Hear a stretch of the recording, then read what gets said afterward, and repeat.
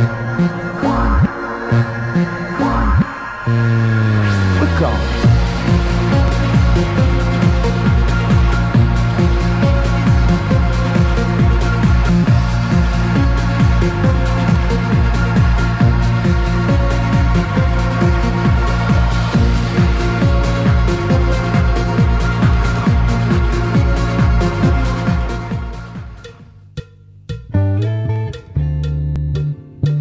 početak hteo sam da vas pozdravim sve, da vam zahvalim što ste došli da podržite ovaj naš seminar, da pozdravim naše goste sa Instituta ekonomskih nauka, gospodina profesora doktora Dejana Erića i magistra Sašu Stepanovića, da pozdravim naše, naše domaćine ASN Automotive kuću direktora generalnog Zorana Živkovića.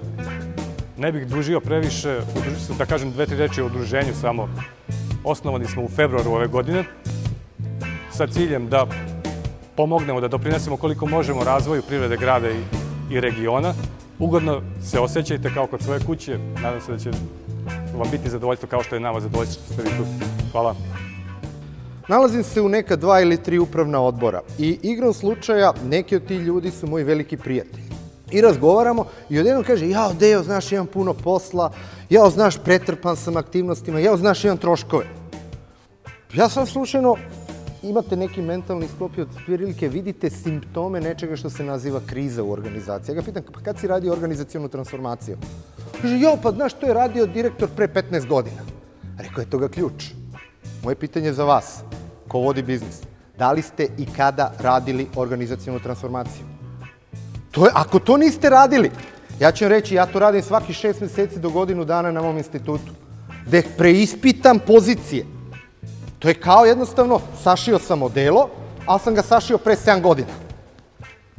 Umeđu vremenu se moda promenila, umeđu vremenu ste se možda nagojili, možda ste malo išli u teretanu pa ste se nabildovali, pa možda vam to delo postane preusko.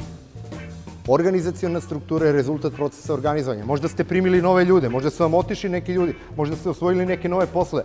Šta se dalje dešava? Dešava se čovjek kupi firmu. Čovjek nakupi mnogo firme, ima mnogo biznisa. I odjednom ne može da ih kontroliše. Zašto? Zato što nije uradio jednu aktivnost koja se naziva restrukturiranje.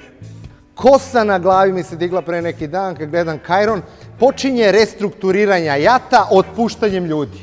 Znate, kod nas restrukturiranje je jednako otpuštanje ljudi. Pogrešno. Zamislite da ste lekar i sad žalite se nešto nije u redu, a ja kajem, e, fino, daj ga na operacioni sto. I odmah operišem, sečem. Polako, šta je prva stvar koju morate da uradite? Diagnostika. Morate da otkrijete gde se nalaze uzroci krize. Možda uopšte nije problem u više ljudi. Možda je problem u tome što su ljudi neuposleni. Možda je problem u tome što organizacija nije dobra. Možda problemi se nalaze sasvim na drugom strani. Juče slušam BBC vesti i a, fantastično način razmišljanja. Poznata firma Miss 60 suočavaju se sa velikim problemom zbog velike globalne krize, možda će moj kolega Stefanović nešto o tome da vam kaže. Prva dijagnoza, ne otpuštaću ljude, nego kaže naš najveći problem je u tome što nemamo potrošnju na odgovarajućem nivou. On tačno zna koliko mora da ima potrošnje, odnosno koliko mora da naplati da bi pokrio troškove. I to je glavni problem često. Znate, ja kad sam došao u institut, mogu sam da otpustim 70% ljudi. Zato što ne rade ništa. Međutim, nisu ti ljudi krivi. Problem je u tome što institut u to doba nije imao dovoljno poslova. Sad je situacija takva, ne da treba da otpuštam ljude, nego da imam stalno otvoren konkurs da primam ljude. Prema tome, ajmo da nađemo način kako da uposlimo ljude. Globalna finansijska kriza. Desilo se negde u Americi. Počelo je sve otprilike negde 1997. godine, kada je zbog nešto većih prihoda, nešto nižih kamatnih stopa, većina tražnje sa tržišta akcija preseljena na tržište nekretnina. Počelo je da se pravi nešto što se zove balon cena nekretnina i to je jako opasna stvar. A naročito opasna za jednu zemlju koja ima veoma, veoma razvijeno hipotekarno tržište. Paralelno s time smanjuju se kamatne stope i javljaju se nove vrste veoma kreativnih hipotekarnih kredita. Kako su se pojavile te nove kreativne vrste kredita sa promenljivom kamatnom stopom, kako su kreditni standardi polako počeli da slabe, potražnja dramatično rasla Gramzivost banaka je postala neverovatna. Počeli su da odobravaju hipotekarne kredite kome god da su stigli. A što više tih kredita plasiram, bolje mi je, veća mi je plata, veći bonus. Ja kao je. delim astronomske bonuse, čak se je otkriveno da direktor Liman ove banke, što je čovjek nije htio ide kolima, nije htio ide čak limovima, nego je išao helikopterom, jer on leti, on leti. Otud inače i gnev ogroman e, realnog sektora na finansijski sektor, naročito na sektor investicionog bankarstva. Znate, oni su uživali. I sada, kad je došao neko to da naplati, oni su propali, neko sad mora platiti. Zašto su sve to dodatno radili? Imali su sjajan motiv. Postoji nešto što se zove sekuritizacija. E to je proces u kome banke ili ostale finansijske institucije koje imaju određenu aktivu, nju finansiraju putem emisije hartije od vrednosti na finansijskom tržištu. Šta to praktično znači? Ja sam banka, ja odobrim kredit na jednoj strani, formiram jedno posebno pravno izolovano telo koje se zove SPV i nakon toga to pravno izolovano lice emituje hartije od vrednosti na finansijskom tržištu kojima se trguje. A u te hartije su investirali investitori širom sveta. Najviše iz Japan, Kina, pa čak banki iz Engleske i tako dalje. E, Šta je specifično za te vrste hartija?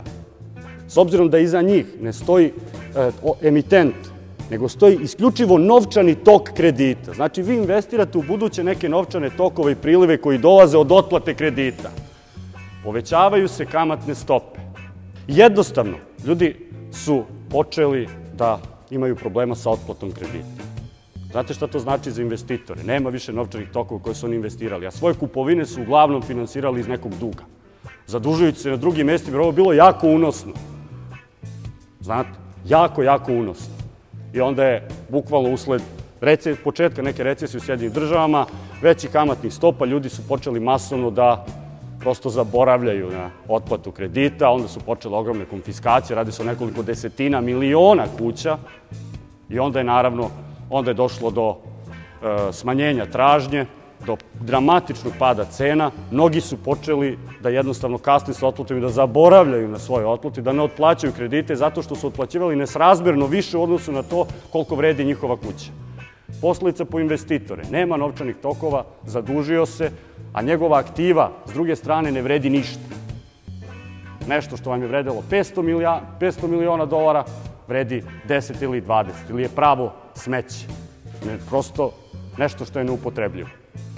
To je dovelo do nedostatka novca na finansijskom tržištu, naravno, što naravno čim je, čim je potražnja velika za nečim, ponuda ne može da zado- zadovolji i u ovom slučaju rastu kamatne stope. E, te posledice sada i mi osjećamo jer se domaće banke, usled toga što su bazne kamatne stope, naročito Euribor, skočio za više od, u poslednjih godinu dana, više za 2%, mi možemo ovde očekivati, s obzirom na još jednom ponavljam činjenicu da se naše banke zadužuju po toj kamatnoj stopi u Evropi, odnosno na svetskom finansijskom tržištu i plasiraju sredstva ovde, možemo očekivati poskupljenje izvora finansiranja u narednom periodu.